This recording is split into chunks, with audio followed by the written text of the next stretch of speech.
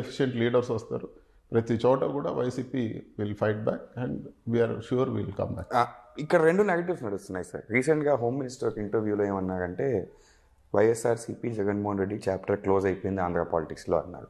Second ఇంకొక negative ఏం నడుస్తుంది అంటే ఏ రీజనల్ పార్టీ అయినా వాళ్ళు ఇర్రెలవెంట్ అయిపోవాలి అంటే మినిమం మూడు టర్మ్లు ఎలక్షన్ ఓడిపోవాలి. అప్పుడే రీజనల్ పార్టీకి ఒక ఇర్రెలవెంట్ జోన్లోకి వెళ్తుంది అని చెప్పేసి. ఇప్పుడు ఫ్యూచర్ ఎలా కనిపిస్తుంది మీకు వైఎస్ఆర్సీపీది? అట్ ద సేమ్ టైం వంద రోజుల పరిపాలన టీడీపీది మీరు ఎలా చూస్తున్నారు తెలుగుదేశం నాయకులు వాళ్ళకి కనపడేది ఈ వంద రోజుల్లో వంద సార్లు ప్రతి ఒక్కరు కూడా జగన్మోహన్ రెడ్డి గారినే తెలుసుకుంటున్నారు జగన్మోహన్ రెడ్డి గారు వాళ్ళు ఏం చేయాలా వాళ్ళు ఏం చేయబోతారో చెప్పడం లేదు. ఎ- వాళ్ళు ప్రతిరోజు ప్రతి స్టేట్మెంట్లో కూడా జగన్మోహన్ రెడ్డి గారి పేరెత్తకుండా వాళ్ళకు ఆ రోజు గడవడం లేదు. ఏదో ఒకటి ఆ, బురద కొట్టే పని చేస్తూ ఉన్నారు. సో వాళ్ళు ఇన్నిసార్లు జగన్మోహన్ రెడ్డి గారిని తలుచుకుంటున్నారంటేనే ఈరోజు అపోజిషన్గా మేము గట్టిగా చేస్తున్నామని అర్థం. సో వి- మేము రైట్ ట్రాక్లో ఉన్నాం.